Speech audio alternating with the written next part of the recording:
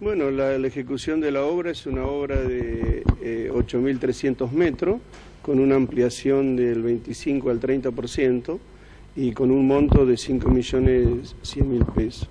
Eh, lo que es, usted dice de un inicio de obra es la presentación porque hoy llegamos los materiales que ustedes ven a mi espalda y la obra eh, en su inicio real estará comenzando la semana que viene. Eh, es una obra bastante esperada por la gente de Crespo.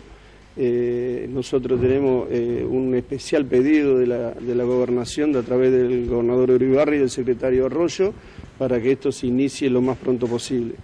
Eh, tal es así que ayer me, entregaron la, documentación pertinente la gente de Gasnea para el inicio de obra. Eh, Red en Gas estará entre hoy y el lunes presentando toda la documentación y en la semana entrante estaremos trabajando. ¿Cuáles fueron los motivos de la demora que se produjo entre la firma del convenio y el real inicio de las obras? Eh, eso es un, inconveniente que suele suceder en todas las obras de gas porque hay eh, una aprobación de Gasnea sobre eh, el proyecto original. Entre que se licita y, se hace el inicio de obra, hay empresas que eh, la gente contrata obras por tercero.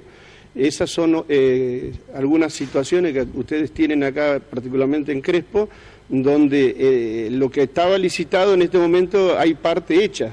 Eso trae aparejado un relevamiento general del proyecto y eso ha sido la demora, pero no ha sido una demora ni, de ninguna manera eh, de profeso, nada que ver, o sea, es una cosa que se da muy, muy, eh, muy normal en estas obras de redes de gas. ¿Se va a trabajar con un eh, recorrido? ¿Van a ser cuadrillas en forma paralela? ¿Por qué sector van a iniciar?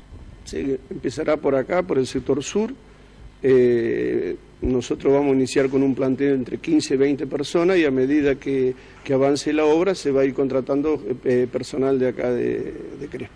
¿Tienen eh, tiempo para finalizar la obra? La finalización de las obras es 120 días corridos. ¿Es el plazo que va a correr desde la firma del convenio, como se nos dijo? Del inicio del efectivo. a su vez, también en días de lluvia, eso trae aparejado que se puede prolongar el, la duración de la terminación de la obra. Es, muy común que cuando llueve no solamente ese día, sino uno o dos días más, también se, eh, se demore. ¿Qué características técnicas tendría, digamos, en cuanto al tendido de, lo que es la red? Y la característica del tendido, eh, esta empresa, Redengas, eh, ha tendido a automatizar lo mayormente posible para tener menos deterioro en la vía pública y que el cliente se sienta contento y no, no encuentre un, un desarrollo negativo porque pasa el tendido de gas por su casa.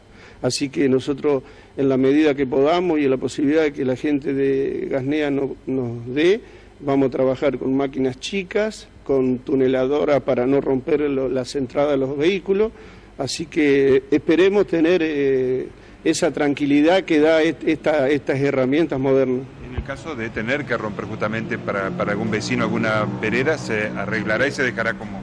Exactamente, como el inicio de la obra, se, saca una foto, cómo está la vereda y después se, se trata de mejorar. ¿De cuántos metros estamos hablando? Estamos hablando de 8.300 metros con una ampliación del 30%. En el depósito vemos ya gran parte ocupada por los materiales. ¿Esto sería para el trabajo completo? Es para el trabajo completo. O sea, nosotros Radio Gas cuando inicia una obra trae todos los materiales para no tener ningún inconveniente durante el desarrollo de la misma. Fuera, de, fuera de grabador nos decía usted que ya hace cinco meses que están instalados en, en eh, nuestra claro, ciudad. cuando nosotros tuvimos la posibilidad. Lo que pasa de que, eh, por suerte, Crespo es una ciudad muy, muy próspera, eh, en pleno desarrollo. Eh, nosotros nos adelantamos a conseguir un galpón y, la casa para el personal porque vemos que es bastante dificultoso encontrar inmueble en la ciudad de Crespo.